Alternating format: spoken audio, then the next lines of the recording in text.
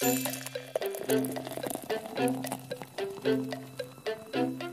this is uh, Walter Smith on Moon Rising TV with another segment of uh, Walter's Glass Half Full. Oh, I'll have a pint of lager. Nope, I'll have a pint of bitter, a pint of lager, a pint of bit. It's a Delph special. Can't make my mind up. Warwick Yorksmith, City just signed.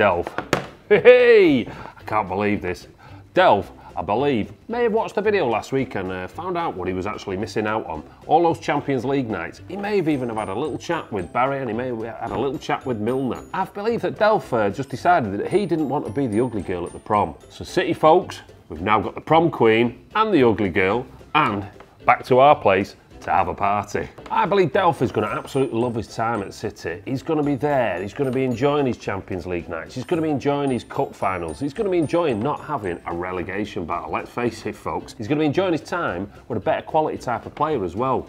That's a fact, folks. Delph will be able to sit down at the end of his career and he'll be able to say, showing his grandkids, look at all these medals I won. Yeah, I won them in Manchester City. I believe it's a masterstroke by uh, City to actually get him involved as well. We've got another homegrown player and I don't know about you folks, but homegrown meant something very different when I was young. So I believe it's a win-win situation for player and a win-win situation for City as well. The only person I think may have lost out on this uh, transfer was uh, Micah Richards, strangely enough. He was the guy that Delph quoted actually saying, uh, City's the best club in the world, you'll have a fantastic time there. Now I'd have liked to have been a fly on the wall that morning when Micah Richards actually turned up at uh, Aston Villa's training ground and had to face Tim Sherwood and say, well boss, I think I did say those things, but it's true. The bottom line is I can't blame Delph for actually deciding to move to City either because if you look at the other good player or uh, at Aston Villa, it's Benteke and they've shown in the door as well. They're a club not showing ambition and if you're an ambitious player, City are right up your street. Ryan lad, City can forget about the title with their current centre backs, Dodgy Mangala, Kompany, who's easily found out, and Demichelis, who's only good against minor opposition. The delusion is strong in this one. If the defence is so bad at City, I'd like Ryan Ladd to actually tell me how Joe Hart won the Golden Glove again. To write off three quality defenders like that, I think, is the ultimate in short-termism. The one thing I do like about this comment is it gives me, as a City fan, the actual time and space to talk about Denayer, who I've not actually discussed before.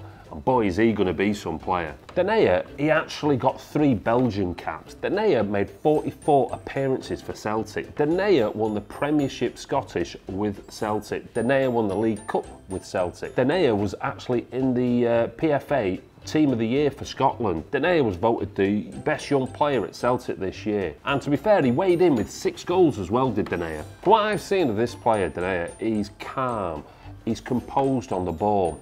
He also likes to play the ball out the back. So what he's got is that ability to actually find the pass when he's uh, made the tackle. He's a big lad, he's a big unit as well. So he's not going to get bullied by uh, any type of Premiership defender. He's a beast in the air, and that just doesn't mean the defending, that actually means scoring with his head as well. You're concerned about City's defence, but with these three players that you've already mentioned, and Denayer nicely fitting in. I'm not actually too worried about that. I've been popping over onto uh, Celtic forums uh, all during the year just to see what the Celtic fans made of Denayer, and they absolutely loved him. They would have moved heaven and earth, as it were, to actually bring him to Celtic, but luckily he signed a five-year deal at City. He is committed and he's homegrown, folks. I are guilty. I are guilty of stupidity, according to this comment. Be realistic. The signings Man United have made make them the biggest contenders to Chelsea so far. Obviously, the window isn't finished, but right now, we'd be lying if you said United didn't look good. Big words, pal, big words. If I look at what City have brought in so far, City have brought in young, hungry players, and the transfer window was nowhere near shut. So we've still got big business to do. If I look at some of the players that United have brought in, Schneiderlin, or as we call him Schneidy Gip, I believe that if you buy enough players from Southampton, you'll end up just like Liverpool. They brought him in to replace Carrick. Now, what you've got to ask yourself is, is he a step up from Carrick? Carrick is actually one of those rare treats of a United player that I actually rate. He actually is the glue that actually holds that side together. And you've got to ask yourself, is Schneiderlin a big step up from that?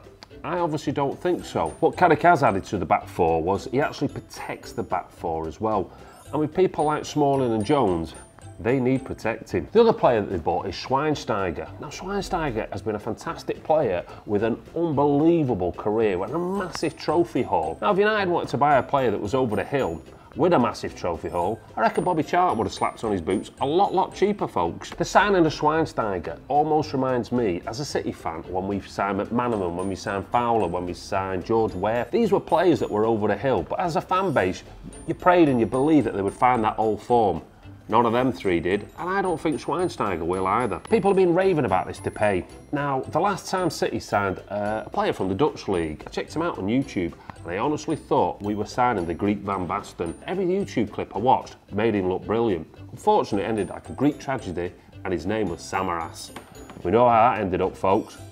What with the transfers in, I'd be worrying about as a United fan, it would be the transfers out. Now, De Gea was absolute stunning for you last season and saved you a load of points. Now, I feel that he might sign for the Real Madrid for what, a Scott's egg and uh, 10 bob a week? I think that'd make him happier than staying at Man United at the moment. So I are guilty. I wouldn't be overly concerned at this early part of the uh, transfer window. This season hasn't even started about Manchester City's and Manchester United signing. Wait till the door shuts. That's when the real uh, test will begin. So that about sums up another week of Walter's Glass Half Full. Now, if you need a bit of positivity injecting into the world of Manchester City this week, leave a little comment below. Don't forget to leave a like. Oh, time for another.